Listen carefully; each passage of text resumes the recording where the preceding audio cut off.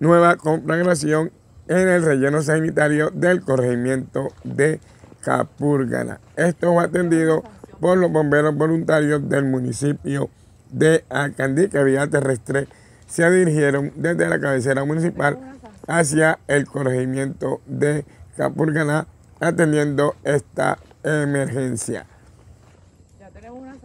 Frente a otro reto en el basurero de Capurganá. Gracias a la carretera, gracias a todo el esfuerzo que se ha hecho ahí, gracias a todos los que lo han hecho posible. En 50 minutos bastó para llegar a darle frente a este episodio que sabemos que es reiterativo, pero que no hay mal que dure 100 años. La activación de los protocolos y la articulación de todas las instituciones hizo que este incendio fuera atendido rápidamente por el Cuerpo Voluntario de Bomberos de Acandí.